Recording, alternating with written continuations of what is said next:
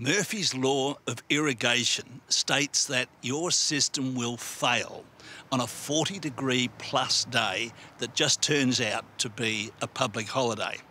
Well, my lawn has suffered from just such a failure, and this scald, this terrible scald in the lawn, is the result. My mission is to get it green again in a hurry, so I'm going to overseed it. Here's the process. Yesterday, I mowed the lawn low. Now I'll stir up the dead area with a steel rake and try to pull as much dead matter out as I can. I'm applying a specific conditioner, Scott's Lawn Builder Lawn Starter. It's boosted with iron, sulphur and calcium to promote deeper green growth and strong roots. This includes a slow-release fertiliser that continuously feeds your establishing lawn for three months.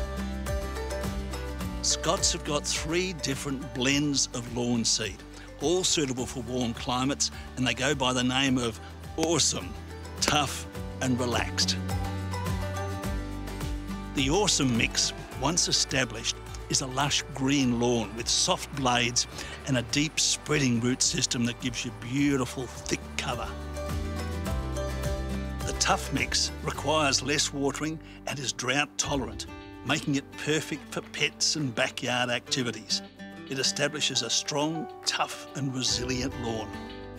The Relax custom seeds require less time mowing, watering and feeding, so you can spend more time relaxing. So I'm looking for awesome results. That's why I'm going to use this particular seed. Now it's worth mentioning that these seeds are coated and that coating helps to improve water retention and it also contains a deterrent for birds and ants. While I'm using the pull-out pourer to spread seeds over this small area, if your project's more ambitious, in other words, larger, then use the famous Scott's spreader. So the last job is to water in the seeds. Now I like to give it a real good soak with a hose. That should get it going. Now, of course, uh, I'm not in the least impatient, but I have got the timer on.